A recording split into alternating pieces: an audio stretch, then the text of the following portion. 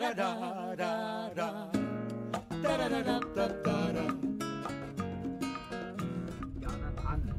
Taino-Indianer sind sicher nicht die Urbevölkerung. Es gab andere Indianervölker oder indigene Völker, die hier gewesen sind, die wahrscheinlich aus Mittelamerika gekommen sind, möglicherweise von Yucatan herübergekommen sind, möglicherweise aber eben auch von Texas oder von äh, Florida mit Booten übergesetzt sind, die deutlich vor den Taino-Indianern hier gewesen sind. Man sagt ja, dass Amerika seit etwa 11.000 vor Christus am Ende der letzten Eiszeit besiedelt worden ist.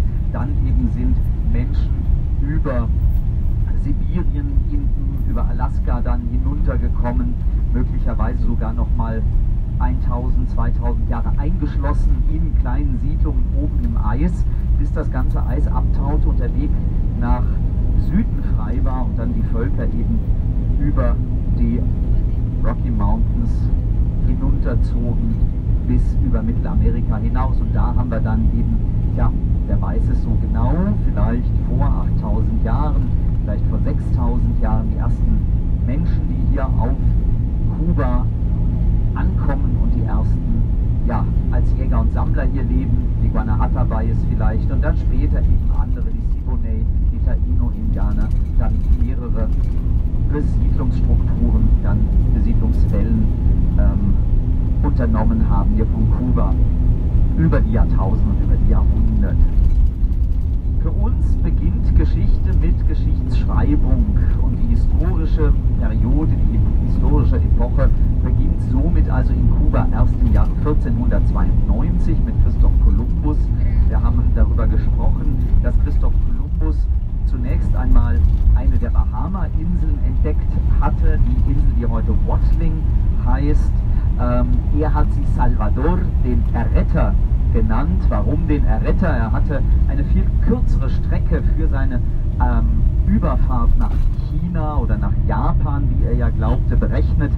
Und ähm, er hat nicht damit gerechnet, dass die Welt 10.000 Kilometer mehr Umfang hat, als er das berechnet hat. Er hatte auf nur 30.000 Kilometer Umfang berechnet und deswegen dachte er viel früher auf Festland zu stoßen, nicht auf Festland und es gab schon fast an Bord eine Meuterei und dann kam er auf diese kleine Insel der Bahamas und er nannte sie dann Salvador, der Erretter. Der schreibt das wirklich dramatisch in seinem Wortbuch am Tag, bevor die große Meuterei ausbrechen sollte.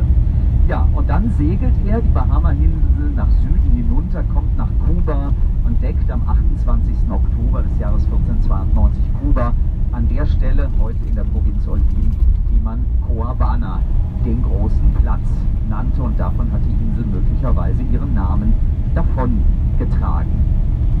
Christoph Kolumbus reist dann weiter am 6. Dezember hinüber nach Haiti auf die Insel, die er dann am 7. Dezember La Española nennt, die spanische Insel, besegelt die bis in den Osten, dann über Puerto Rico kehrt er wieder nach Hause zurück. Und damit ist die neue Welt entdeckt, Kuba in die historische Geschichtsschreibung eingetreten. Erst 1511 kommen die Konquistadoren dann aus Santo Domingo hier herüber, geschickt vom Sohn von Christoph Kolumbus. 1511 war Christoph Kolumbus schon fünf Jahre tot und begraben in Valladolid, noch nicht umgebettet nach Sevilla, zum ersten Mal umgebettet. Und dann unter Diego de Velázquez und unter dem Feldkaplan Bartolomeo de las Casas kommen die Spanier herüber, besiedeln die Insel Kuba, erobern sie, unterjochen sie, unterjochen die Taino-Indianer. Bartolomeo de las Casas schreibt in seiner Geschichte Amerikas, dass er annimmt, dass etwa 500.000 Taino-Indianer hier auf der Insel gelebt haben, dazu noch einmal 100.000 Guanahatabais, da hätten wir also 600.000 indigene Bevölkerungsmitglieder hier auf der Insel, die spätestens 150 Jahre danach überhaupt nicht mehr auftauchen in den Volkszählungen, ausgerottet wurden durch Krankheiten und durch die Arbeit in den Goldwäschereien und später in den landwirtschaftlichen Plantagen.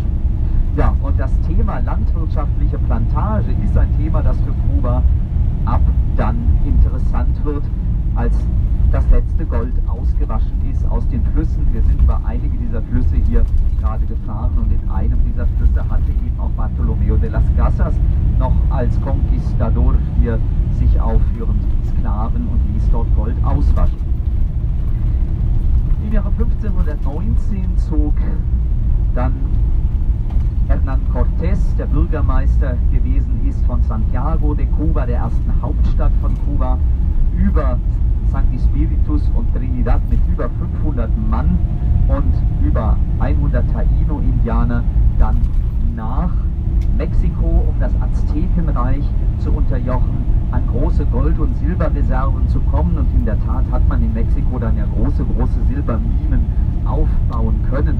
Und das ist dann auch letztlich das Ende der Besiedlung von Kuba, denn viele Siedler kommen gar nicht erst nach Kuba, Siedler, die schon auf Kuba gesiedelt hatten, gehen weiter in den Westen dahin, wo große Reichtümer ihnen versprochen werden und die bleiben nicht hier auf dieser Insel. Das heißt, es entwickelt sich im 16. und im 17. Jahrhundert eine kleinbäuerliche Struktur, wo die Bauern, die hier siedeln, sowohl Zuckerrohr anbauen, das es auf dieser Insel gibt, seit wahrscheinlich 1511 die Konquistadoren es mitgebracht haben hier auf die Insel, aber auch Blaufarbkräuter wie Indigo, man hat ähm, dann Mais angebaut zur Selbstversorgung, natürlich Maniok angebaut, Jams angebaut und das Ganze in einem überschaubaren Maßstab. Erst im 18. Jahrhundert, als die Niederländer den Kaffee aus Ceylon hier nach Amerika brachten, in ihre Kolonie Surinam, fängt auch auf der Insel Kuba eine zunehmende Monokulturalisierung von Plantagenwirtschaft statt. Eine zunehmende Einfuhr von Sklaven im 18. Jahrhundert. Und ich sagte das vor einigen Tagen schon zwischen 1790 und 1820.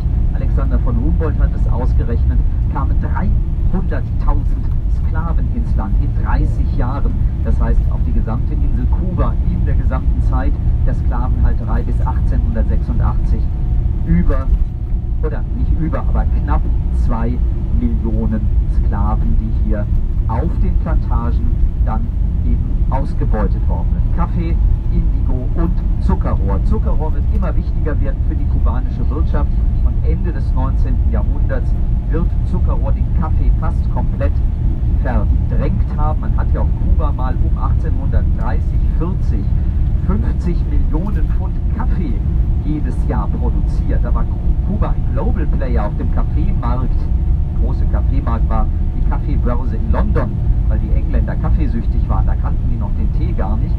Ähm, aber dann bricht das um 1850 zusammen, als Brasilien sich damit einmischt in die Kaffeeproduktion und Kuba damit den Kaffee nicht mehr gescheit verkaufen kann.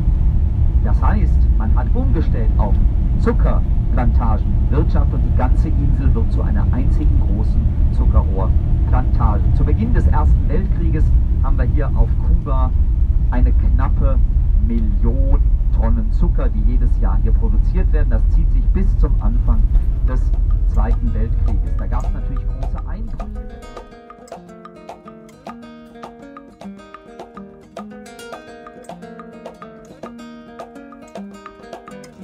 Da, da, da.